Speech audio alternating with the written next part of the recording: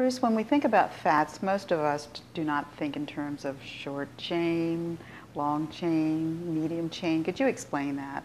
Yes, um, the fats and oils in our diet are composed of fatty acids, and you can classify these fatty acids into three basic categories depending on their length, or the length of their carbon chain.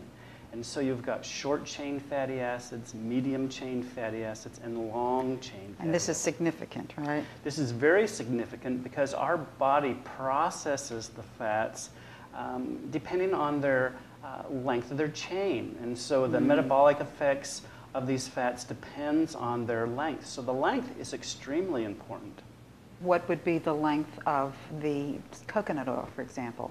Well, coconut oil is very unique. Most of the fats in our diet, I would estimate 95 to 100% of the fats that we eat every day are composed of long chain fatty acids. Which fats would be typical? Would Which be? would be corn oil, okay, corn oil. beef, lard, butter are all composed predominantly or almost entirely of long chain fatty acids. Okay. Now, coconut oil is unique because it is composed predominantly of medium chain fatty acids.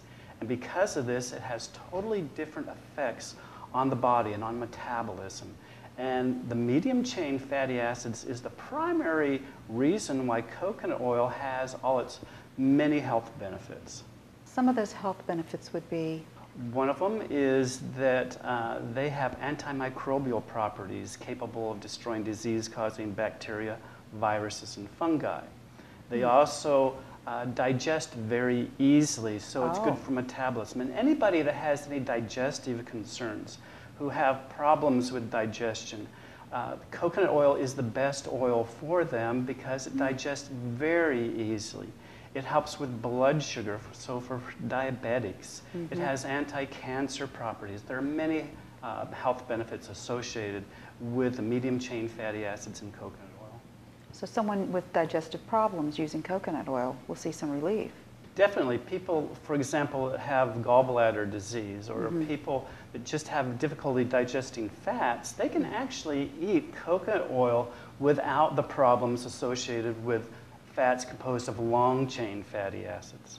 Which is composes or comprises most of our diet is the long chain. Right, right. And includes most every vegetable oil you buy, such really? corn oil, mm. soybean oil, uh, canola oil. All of these are 100% long chain fatty acids.